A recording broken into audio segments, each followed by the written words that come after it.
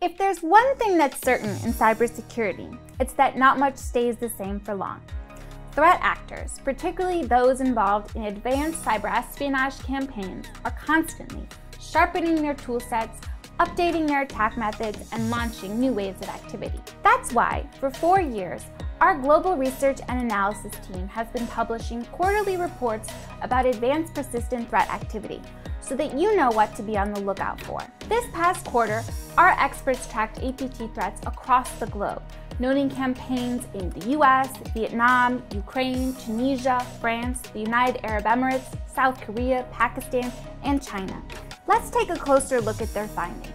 Perhaps the biggest news of the past quarter was the SolarWinds supply chain attack. The company's Orion IT software, a solution for monitoring and managing customers' IT infrastructure, was compromised which allowed attackers to install a custom backdoor named Sunburst on the networks of more than 18,000 SolarWinds customers, including many large corporations and government bodies in North America, Europe, the Middle East, and Asia. Can you tell us a little bit more about your findings regarding Sunburst?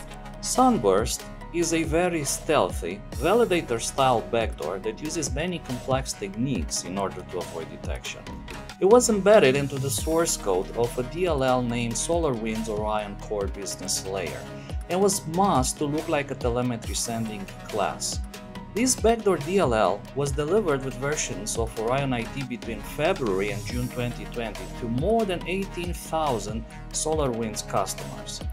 Sunburst operates through a DNS-based command and control mechanism which first provides the attackers with basic information about the system. Out of the 18,000 deployments, it would appear that only a fraction, believed to be in the range of 100 companies and government entities, were actually interesting to the attackers.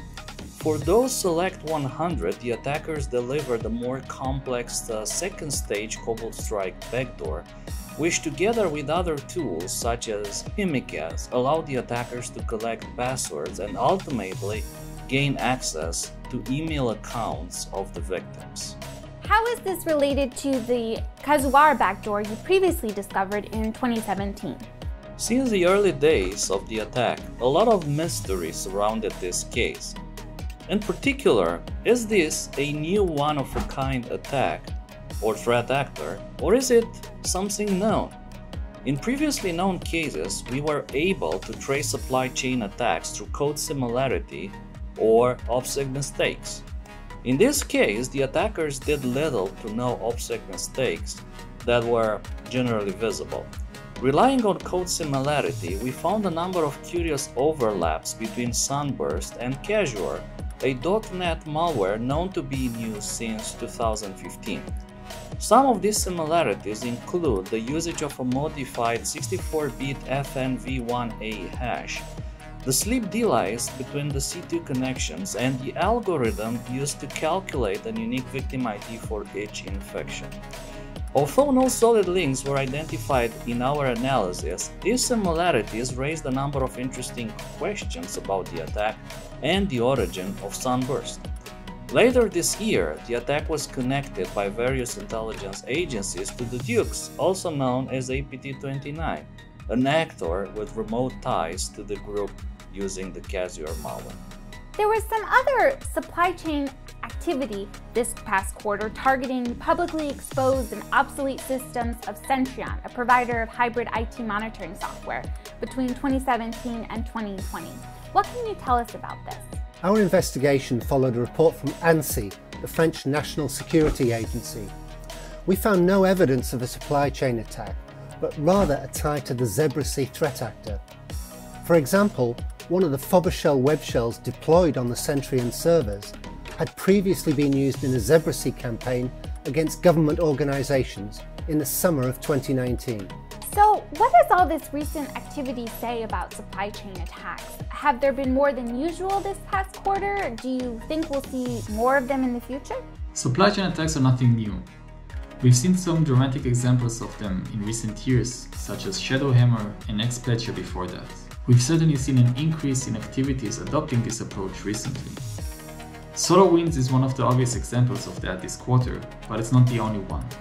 We've also seen supply chain attacks targeting developers, such as in the case of Xcode Spy and CodeCov. Targeting developers at scale could provide APT groups with access to sensitive, exploitable information in a wide array of products at their source. In March, Kaspersky uncovered a series of vulnerabilities in Microsoft Exchange Server. Vulnerabilities that allow attackers to gain access to all registered email accounts or execute arbitrary code. And they haven't gone unnoticed by APT groups. Can you tell us if you discovered any interesting aspects of the attacks that exploited the Microsoft Exchange Server zero days? Besides zero-day exploits and supply chain attacks, certain well-known APT groups launched new waves of activity. The activity revolving around the exploitation of the multiple Microsoft Exchange zero days, disclosed in March, was initially attributed to a threat group called Hafnium. In later reports, other vendors found evidence suggesting that multiple subgroups exploited these vulnerabilities.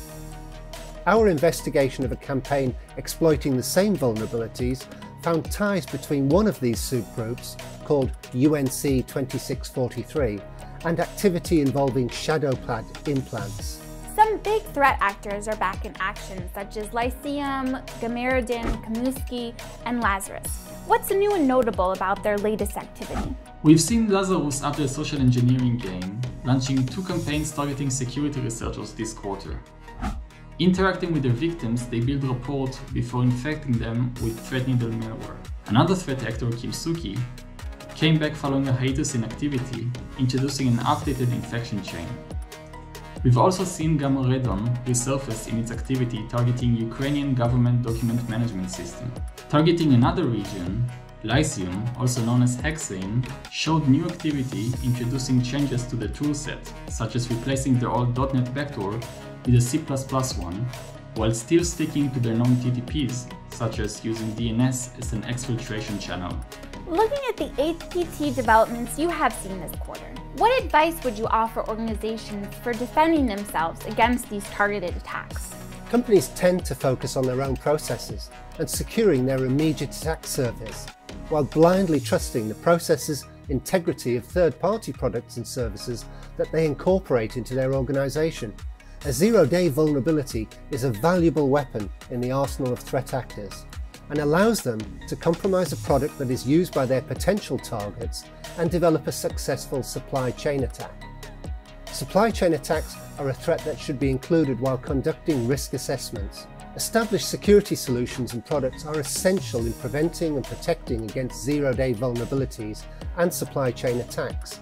But threat intelligence is becoming a vital tool in enabling organisations to gain an insight into the tactics, techniques and procedures of sophisticated targeted attackers. Taking a proactive approach rather than just relying on reacting to threats is now an essential aspect of corporate security. And one of the best proactive measures to take is to regularly patch all of your devices. Be sure to check out the full APT Q1 report on SecureList.com. And to get regular, in-depth reports about the latest advanced threat activity, you can subscribe to Kaspersky's Threat Intelligence portal, because the more you know, the more prepared you'll be to counter whatever threats come your way. Stay safe, everyone.